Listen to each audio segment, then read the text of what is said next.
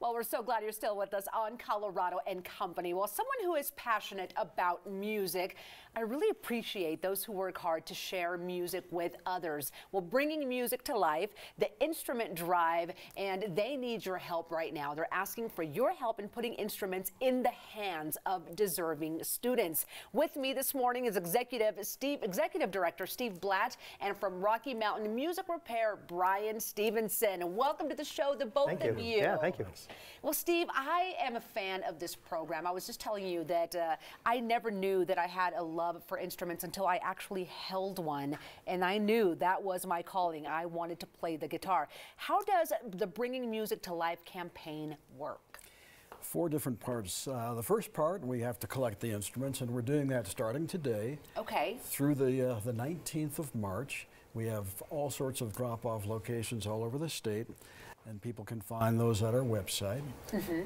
And the next important phase is repairing those instruments. We're committed to giving kids only instruments that are in excellent playable condition so they don't get frustrated, so they fall in love with music the way you fell in love with music. Absolutely. Even hearing you say that is so exciting. And I mean, music, once you've got the music bug, it's something that you want to do the rest of your life. Now, for people who may have instruments sitting at home, they don't use, these are the kind of instruments you need and people to donate, right? Right. We, we asked for gently used instruments. Okay. Although, as you'll see, some of them aren't so gently used, but they still work because we have people like Brian yeah. and our other repair partners who, uh, who put them back into great shape.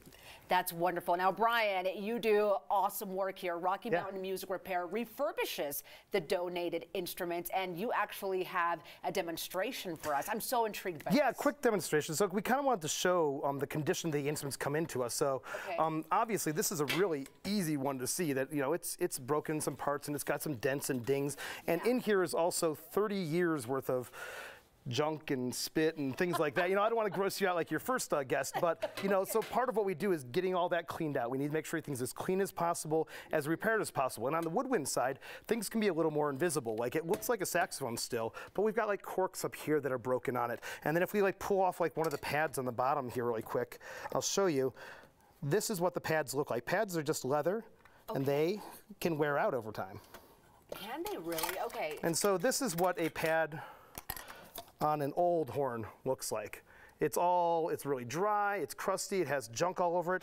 And we want to replace it and make sure that we get a really good pad on here. They're just gaskets that help the horn keep the air in and play the correct notes. So we do a lot of the pad work, dent work, cork work, things like that to get the horns up and playable again. Um, because we want to make sure that they give the kid the best opportunity to succeed in music. And all this, I would imagine, improves the sound, improves everything. Sure.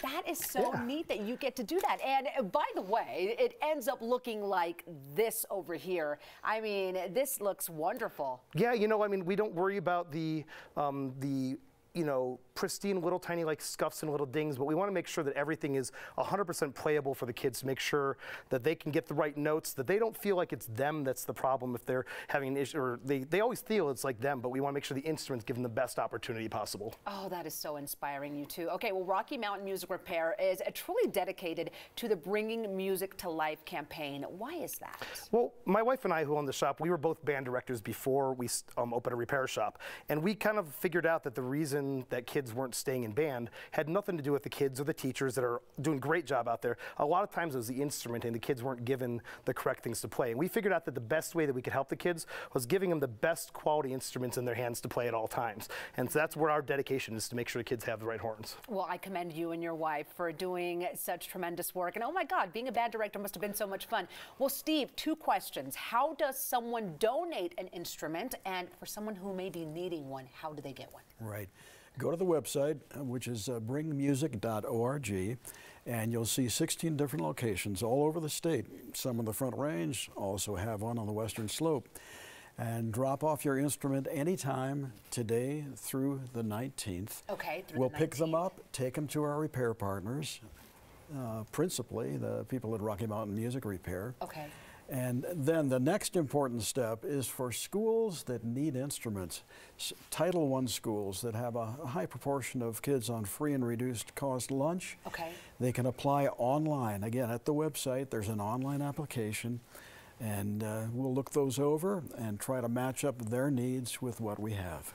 I love this. Well, music is my happiness, and if we can help some kiddos out there find that happiness, we are in for sure this morning. Thank you both for being with us today.